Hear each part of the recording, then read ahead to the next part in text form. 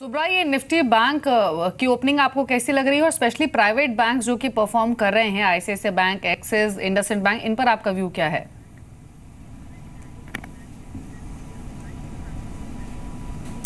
तो पूरी ब्रॉडली यही एक बैकबोन रही है मार्केट के। कल के भी सेशन में हमने इसी को, इसी इंडेक्स को परफॉर्म करते हुए देखा। तो मेरा मानने के शायद नियर टर्म यहाँ पर इक्कीस हज़ार तीन सौ जो टॉप के आसपास है तो आई थिंक वहाँ तक एक स्पर्ट आने की संभावना है। और जहाँ तक प्राइवेट सेक्टर बैंक्स का सवाल आई थिंक यहाँ पर आईसीआईसी बैंक जो एक लगा रही है तो शायद यहाँ पर एक कैचिंग अप 250 257 के आसपास अच्छी खासी सपोर्ट है तो आई थिंक यहीं से हम सपोर्ट देख रहे हैं। एक जो यहाँ पर एक बूस्ट दे सकती है वो है आई थिंक कोटक बैंक जो आज की जो भी एक मीटिंग वगैरह है तो उसमें आई थिंक यहाँ पर बाइंग की स्पर्ट आ सकती है।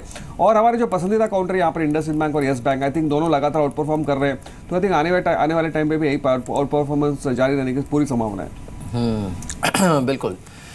खैर चलिए ये आउट परफॉर्मेंस तो यहाँ पर देखना होगा। आज वैसे भी आ, निफ्टी बैंक का आउट परफॉर्म करना कुछ हद तक ज़रूरी भी है। एक बार फिर से देखते हैं। आ, उन स्टॉक्स को देखते हैं जहाँ पर अभी अभी fifty two week high hit हुआ है। अगर कोई स्टॉक्स हैं इंटरेस्टिंग इसमें एक बार इस लिस्ट पर नज़र डालते हैं। क्योंकि आ, इंडेक्स काफ़ी नज़दीक है नाइन ज़ीरो नाइन फाइव के। अब आप देखिए फिफ्टी टू वीक हाई में अच्छे अच्छे स्टॉक्स भी हैं। बॉम्बे वर्मा आज डेढ़ परसेंट ऊपर है। डीसीबी बैंक है इरोज इंटरनेशनल फिनोलेक्स केबल्स ये सारे ऐसे काउंटर्स हैं जिस पर अच्छा मोमेंटम है। गुजरात फ्लोरो आईबी वेंचर्स और साथ ही स्टील स्टेप व्हील्स इन काउंटर्स पर काफ़ी अच्छा मूव देखने को मिला है। इसमें कोई ट्रेड इस समय लेना चाहेंगे क्या? सुब्रा, आप?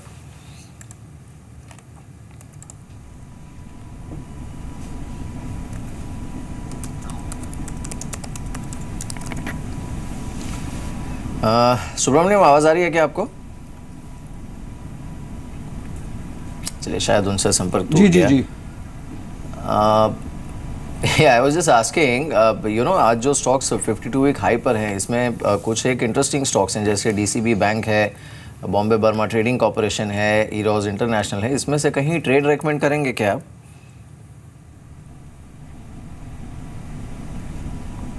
I think India bull venture एक इंटरेस्टिंग स्टॉक आई थिंक ये लगातार यहाँ पर बाइंग देख रहे हैं और एक आई थिंक 51 के आसपास बंद हुआ आई थिंक यहाँ पर एक बाई की जा सकती है।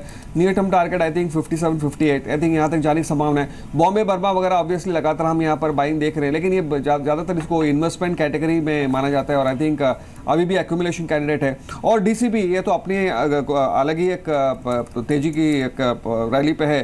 तो आई थिंक करंट लेवल पे शायद यहाँ पर मैं रिकमेंड नहीं करूँगा, लेकिन I think one can hold on with tight stop loss of five seven rupees I think लेकिन अभी भी यहाँ पर एक सौ तक जाने की पूरी संभावना है। जी। अविनाश एक डिशमैन फार्मा में 20 परसेंट के अपर सर्किट लगा है, खुलते ही खबर जो आई है वो ये है कि टेसारो इंक के कैंसर ड्रग को अप्रूवल मिला है और company one of the API supplier है टेसारो को, इसीलिए इतना एक सिग्निफिकेंट रिएक्शन आया है। आप कैसे देखते हैं इस डेवलपमेंट को और डिशमैन फार्मा पर क्या कमेंट्स हैं? नहीं मुझे लग रहा है डेफिनेटली न्यूज़ पॉजिटिव है और कंपनी डेफिनेटली काफ़ी वेल नोन क्रैम्स प्लेयर है और ये जो कॉन्ट्रैक्ट है, इसका जब भी मेरे ख्याल से जब कमिश्निंग स्टेज शुरू होगा, तभी इसका इम्पैक्ट आपको एफ़ आई एटीन में ज़रूर देखने को मिलेगा। मेरे ख्याल से मार्केट्स इस बात पे खुश है कि ये एपीआई का जो सप्लाई है, वो एक्सक्लूसिव है और इसका जो इम्पैक्ट टॉप लाइन और प्रॉफिटेबिलिटी पे आएगा, वो डेफिनेटली एफ़ आई में रिफ्लेक्ट होगा। तो मेरे ख्याल से कोई भी गिरावट में इसको खरीदना चाहिए, क्योंकि ऑलरेडी स्टॉक बीस ऊपर ओपन हो चुका है। तो मेरे ख्याल से स्टॉक अगर थोड़ा सा गिरता है रिएक्ट होता है तो डेफिनेटली पोर्टफोलियो पिक के लिए काफ़ी अच्छी जगह होगी। हम्म, एक बार फिर से देख लेते हैं उन स्टॉक्स को जहाँ पर विद वॉल्यूम्स अच्छा सर्ज है। इनफैक्ट अविनाश मैं आप ही से कमेंट लेना चाहूँगी। एक तो इरोज इंटरनेशनल और दूसरा फिनोलेक्स केबल्स बैंकीज की अभी हमने थोड़ी देर पहले बातचीत की थी अदरवाइज़ बैंकीज भी इस कैटेगरी में शामिल होता। ये तीन चार ऐसे शेयर्स है जो कि लगातार चल रहे हैं। क्या रहा है आपके इन स्टॉक्स पर? नहीं, मुझे लग रहा है कि वेंकीज़ और अगर हम फिनालेक्स केबल्स की बात करें तो दोनों ही शेयर्स में अर्निंग्स का जो ट्रेजेक्ट्री है, वो काफ़ी स्ट्रॉन्ग है। इनफैक्ट और तीसरी तिमाही में वेंकीज़ ने काफ़ी शानदार नंबर डिक्लेयर किए थे। ऐसा लग रहा है कि फोर्थ क्वार्टर के नंबर्स भी काफ़ी अच्छे आएँगे। और हाल हाल ही में जो उत्तर प्रदेश स्टेट है, वहाँ पर स्लॉटर हाउसेस पे ये एक बैन लगाया है, जिससे कि हमको लग रहा है कि शॉर्ट टर्म में प्राइसेस जो है पोल्ट्री प्रोडक्ट्स के लिए और भी बढ़ेंगे। तो ये फैक्टर मार्केट्स पॉजिटिवली व्यू कर रहा है। रही बात फिनोलेक्स केबल्स की तो यहाँ पे हमको लग रहा है कि जिस प्रकार का एक्सपांशन इन्होंने किया है अक्रॉस इनके प्रोडक्ट रेंज में इसका इम्पैक्ट भी एफ़ में देखने को मिलेगा। तो मेरे ख्याल से दोनों ही शेयर में ये जो तेज़ी बनी है ये आगे भी कंटिन्यू रहेगी। हम्म।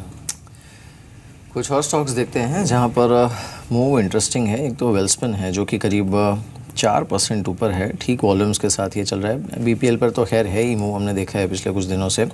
ये वो स्टॉक्स हैं जिस पर अब अच्छा मूव देखने को मिल सकता है। एक बार जो रिसेंटली लिस्टेड स्टॉक्स हैं, उनको भी एक बार देख लेते हैं। ख़ासकर डी मार्ट को। इस समय डी मार्ट छः सौ सत्रह के आसपास। इस स्टॉक ने लिस्टिंग के बाद अच्छा कंसोलिडेट किया है इन लेवल्स के आसपास। बाकी जो रीसेंट लिस्टिंग्स है, इसमें music broadcast is more or less out of radar market के लिए पता नहीं क्यों। बी भी और 920 950 की रेंज में अटका हुआ है। पीएनबी हाउसिंग ठीक है, करीब 1115 के आसपास। अविनाश, इसमें कुछ ऐड करना चाहेंगे क्या आप? नहीं, मुझे लग रहा है कि clearly PNB housing could be an interesting choice क्योंकि fourth largest housing finance company है। और हमको लग रहा है कि जिस प्रकार का loan book growth asset quality इस कंपनी ने रिकॉर्ड की है, हमको लग रहा है कि मीर आने वाले साल में रिस्क रिवॉर्ड रेशियो काफ़ी अच्छा हो सकता है। मेरे ख्याल से I think within the listed IPO जो रिसेंट आई है, ये डेफिनेटली रिटर्न्स के वाइज हमको लग रहा है कि आगे भी अच्छे रिटर्न्स देने की क्षमता रखता है। जी। राजेश ये पेपर स्टॉक से कोई ट्रेड लेंगे? आज भी चल रहे हैं सभी शेयर्स वो भी स्ट्रॉन्ग वॉल्यूम्स के साथ। Ballarpur industries Malu paper Seya paper सभी में अच्छा रुझान है आज के सेशन में भी। कोई ट्रेड लेंगे इनमें से किसी स्टॉक पर? देखिए मालू पेपर्स मुझे थोड़ा सा बेटर लगता है करंट मार्केट प्राइस पे। रफली 34 के आसपास का इसका प्राइस है। Uh, मुझे लगता है कि one can definitely go long in Malu paper stop loss जो मेंटेन करना चाहिए वो रफली है 32 का और टारगेट जो रहेगा वो 40 के आसपास रहेगा. In fact Meer you are talking about BSE मुझे लगता है बीएसई में बहुत अच्छा एक प्राइस uh, फॉर्मेशन बना है. बॉटम यहाँ पे इंटैक्ट है. BSE limited which is at 940 900 के आसपास का इसका base formation if I am not wrong BSE ये लेवल तोड़ेगा नहीं और इसमें जो मोमेंटम आएगा वो रफली ग्यारह तक का दिखता है. तो अगर किसी को इन्वेस्ट करना है तो मुझे लगता है बी लिमिटेड एक अच्छा विकल्प होगा। हम्म, जी। बीएससी लिमिटेड हालाँकि अभी करीब करीब आधा परसेंट ऊपर ही ट्रेड कर रहा है नाइन थ्री नाइन के लेवल्स पर। एक बार भारतीय इंफ्रेटल को देख लेते हैं और इस पर सुब्रा के कमेंट्स भी ले लेंगे। तीन परसेंट के सर्च के साथ ये दिन के ऊपरी स्तरों पर ही ट्रेड कर रहा है थ्री ट्वेंटी के लेवल्स पर। सुब्रा ये स्टॉक पर आपकी राय क्या है? एक एक कंसोलिडेशन के बाद स्टॉक ने फिर से चलना शुरू किया है 320 के आसपास आ चुका है। क्या टारगेट्स हैं यहाँ पर आपके?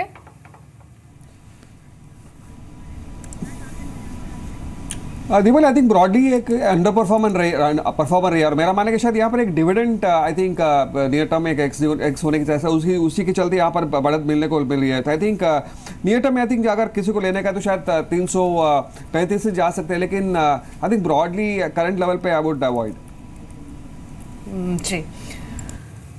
एक बार रॉज इंटरनेशनल को फिर से देखें, अब इस पर मजबूती और एक्सटेंड हुई है और अब साढ़े छः परसेंट ऊपर ये स्टॉक आ चुका है। एक बार पूरे ही ऑटो स्पेस को देख लेते हैं। कल हीरो मोटो कॉप कमज़ोर क्लोज हुआ था। और आज भी सुप्रीम कोर्ट में जो unsold B S three inventory है, उस पर सुनवाई जारी रहेगी। लेकिन पूरे स्पेस में एटलीस्ट हरा निशान देखा जा रहा है। आयशर मोटर्स पॉन एक परसेंट ऊपर है टीवीएस मोटर्स में एक परसेंट का मूव है। Hero MotoCorp flat rate trade कर रहा है थर्टी थ्री फोर्टी फोर के लेवल्स पर। अविनाश, ये हीरो मोटोकॉप कैसा लगता है आपको? नहीं, मुझे लग रहा है कि आने वाला जो यू नो जो फाइनेंशियल ईयर है एफ़ आई एटीन यहाँ पर होपफुली अगर मानसून अच्छा होता है तो टू व्हीलर सेल्स के लिए एक अच्छी पॉजिटिव बात रहेगी। रही बात इनको जो डिमोनेटाइजेशन का इम्पैक्ट हो चुका है, वो थोड़ा बहुत इम्पैक्ट हमको फोर्थ क्वार्टर में भी देखने को मिलेगा। लेकिन ओवरऑल एफ़ आई एटीन के प्रॉस्पेक्ट्स अच्छे हैं। हमको लग रहा है कोई भी गिरावट में अगर ये स्टॉक मिलता है तो इसको पोर्टफोलियो के पॉइंट ऑफ़ व्यू से एकोमुलेट करना चाहिए। जी।